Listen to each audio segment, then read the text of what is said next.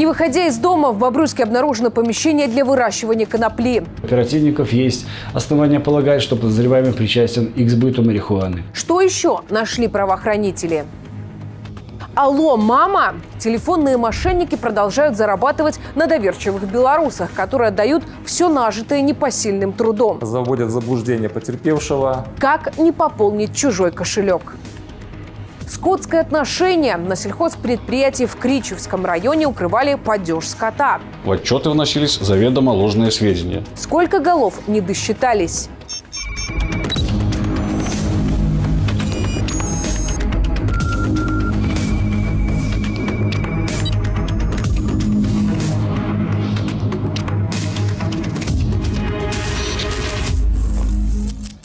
«Сирена». Громкие ЧП за неделю и страшная правда из жизни города. Мы уложимся ровно в 10 минут. Засекайте. Зависимость или нажива. В Бобруйске остановлена работа наркомаркета. В поле зрения правоохранителей интернет-магазин попал еще в апреле, когда с поличным были задержаны двое местных жителей. Они оказались владельцами ресурса. Психотропы мужчины приобретали в России. Дома у молодых людей найдены весы, изолента и специальные пакетики. В отношении задержанных возбуждены уголовные дела за незаконный оборот наркотиков.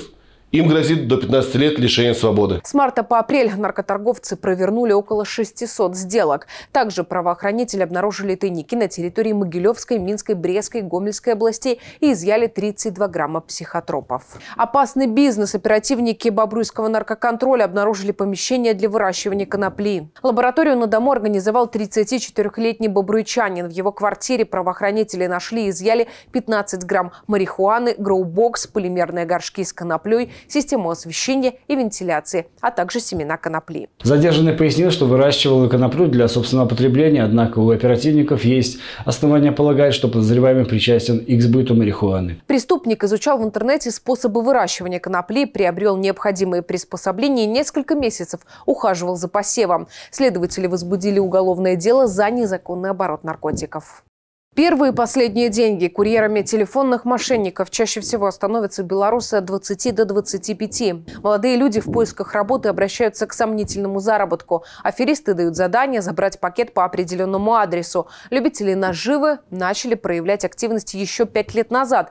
Первоначальная схема «Алло, мама» была довольно проста. Раздавался телефонный звонок на домашний телефон. Якобы сын или дочь попали в аварию и просили финансовой помощи. Сейчас пострадавшими связываются через мессенджеры мессенджеры, в основном в Вайбере представляются как э, сотрудниками органов внутренних дел, либо э, посредниками от этих сотрудников.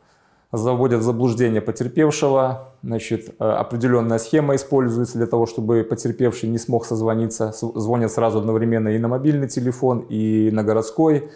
Э, человек такой эмоциональной ситуации не может э, нормально оценивать э, адекватность происходящего. Обычно злоумышленники обманывают людей престарелого возраста, звонят из-за рубежа. Установить преступников в таком случае проблематично, хотя правоохранители взаимодействуют с зарубежными коллегами. Не эпидемия, а человеческий фактор. В Кричевском районе укрывали падеж скота. Директор одного из сельхозпредприятий в течение четырех месяцев давал подчиненным незаконные указания. Из семи голов погибшего молодняка по документам двое были якобы реализованы работниками, а недостачу пяти обнаружили уже при пересчете. Чтобы создать видимость благоприятной экономической обстановки, скрыть недостатки и упущения в организации работы предприятия, а также избежать ответственности за допущенный падеж скота, в отчеты вносились заведомо ложные сведения. Теперь Кричевскому животноводу, фальсификатору грозит уголовное наказание за превышение служебных полномочий. Как с голодного края в Бобруйском районе мужчина похитил с колхозного поля полтонны картофеля. Украденные корнеплоды обнаружили сотрудники Кировского РОВД. 17 сентября на ночной дороге в деревне Суянец правоохранители остановили Volkswagen Passat под управлением 41-летнего местного жителя. В салоне и багажнике обнаружили мешки с овощами. Хозяйству причинен ущерб в 530 рублей. Похищенный изъят автомобиль помещен на штрафстоянку. Проводится проверка. Как в сценарии боевика в Бобруйском районе пьяный лихач устроил погоню. Неподалеку от Сычкова наряд ДПС обратил внимание на Мерседес, который вилял из стороны в сторону. Инспекторы подали требования об остановке. Водитель притормозил, а после нажал на педаль газа и попытался скрыться. Через несколько сотен метров автомобиль вылетел в кювет. Нарушителем оказался 40-летний местный житель. Водитель не пострадал.